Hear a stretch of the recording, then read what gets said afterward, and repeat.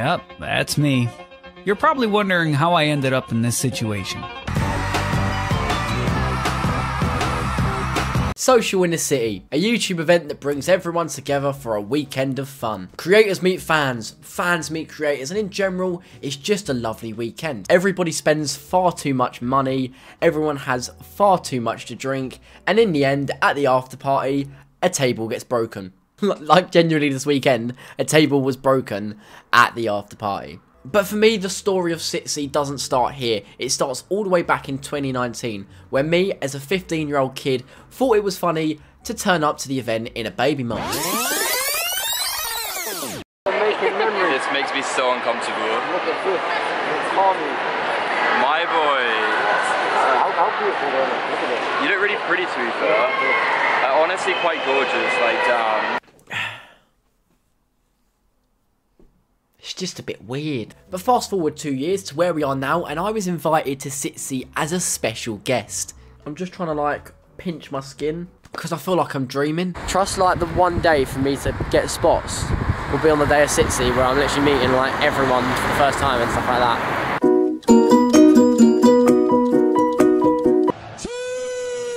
Right, this is a little original piece that I've came up with. Uh, just, it's featuring Lil Pump out next week. So. Thank you.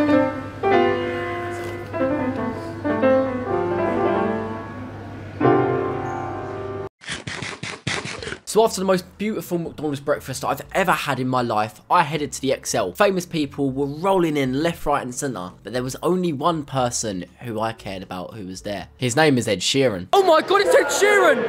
Oh my god, it's Ed Sheeran! I'm in love with the shape of you, mate. No, no, no, no I am in no love with the shape man. of you. No pictures, man. Oh my god.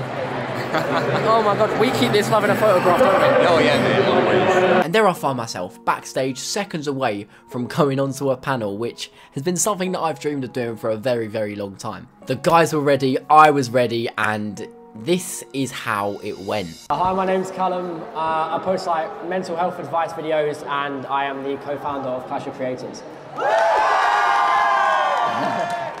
if you are struggling, please just reach out for help. Be Like, just you know, keep reaching out and keep looking after yourself. is such an important thing. Sue! Sue! Sue! Sue! Call me again, drunk in your Benz, driving home under the influence. That shit's embarrassing. You were my everything. All that you did was make me fucking sad. And Don't try to make me feel bad. I could talk about every time. That's the it. My hand's gonna fall off.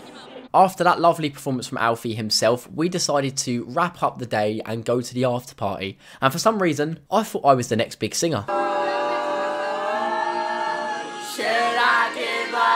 Or should I just keep chasing pavement? Even if it leads nowhere. Should I give up or should I just keep chasing pavement?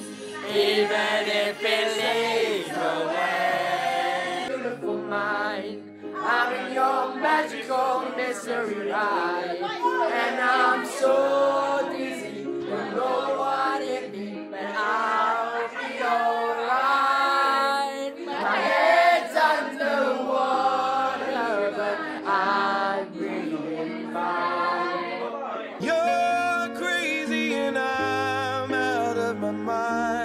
Court is bright. Good morning. Day number two at Sitsi. For some reason, well, if not for some reason, party was a bit mad. Everyone's hanging. I didn't drink too much last night, so I'm sweet. I got my panel at half four, which is in five hours, so we're just chilling out and stuff like that in a minute. Um, it's just so beautiful today. I don't know what it is, but today just feels so good.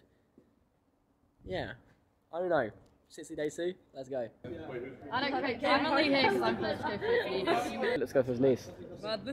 Sundays are always a little bit more quieter because not as many people go on a Sunday and people are just hanging and have got a hangover. However, I thought I would bring a bit of sun to lighten up the mood. Get it? Sun? Sunflower? No, th- this is why I don't do comedy. Let's go!